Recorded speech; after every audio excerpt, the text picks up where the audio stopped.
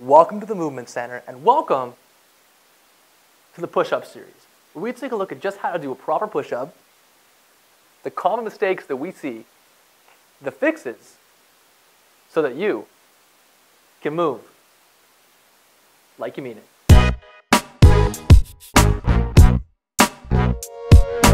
What is up, guys? Welcome to episode six, part Two. of the lumbar sag.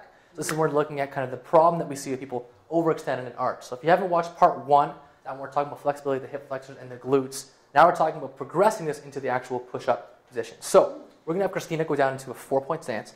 Now from here, what we want to do is this is really important to learn how to find neutral spine. A lot of people are like, "What the heck does that mean?" So what that means is find the point between really, really arch as far as she can extend forwards and whoop, as far as she can go this way, and finding the middle between the two.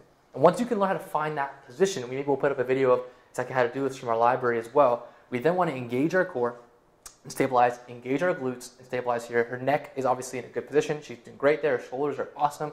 And from here, the progression is then holding this plank while she slowly extends one leg into a push-up position. So she comes down and gets ready as if she's about to go up into her push-up, but she doesn't. She's not that awesome yet, right? And then she's going to bring her other leg back, perfect, and then try her other one.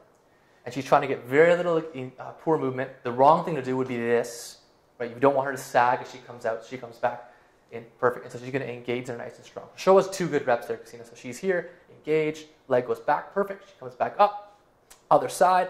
She's engaged. If I were to poke test her, she is engaged and solid. She comes back down, perfect. And that is how we do that progression. Now, to challenge this to another level, we then put her in a full plank. So once you've mastered that, she can engage from here. Her glutes are now engaged. Now, rather than moving her lower body, what we're going to do now, now is move her upper body and stabilize. Now, her shoulder blades have to stabilize, her rotation has to stabilize. And so from here, she's going to do what we call shoulder taps. So she's going to go one side here, one side here, stabilizing, and she's not, she's doing that really well. She's not, to make you do this wrong, Christina, she's not dropping as she does it. So go ahead. Or that, yeah, exactly. She's not opening up her hips. She's staying nice and engaged. She's not sagging. Show us the wrong one again. Right into that position and hanging out. She's getting nice and engaged. Boom, solid. Glutes are on as she taps side to side. All right, so that is part two of that to take care of that lumbar sag position. Nice work. Good. Awesome. So again, the progression for that, guys, is you're going into your neutral core. Find that first, adding leg movement, and then adding arm movement. And from there, if you can hold that, you're probably pretty good to start moving into your full push-up positions. Okay? If you have any questions about that, let us know. Our next episode or kind of final episode there will be on neck. Uh, oh, sorry, we'll be on toe position and that kind of how that, that, that responds to what's going on, which is a pretty important one as well. If you have any questions about that, let us know. Subscribe, move like you mean it, and uh, we'll see you next time. Thanks a lot.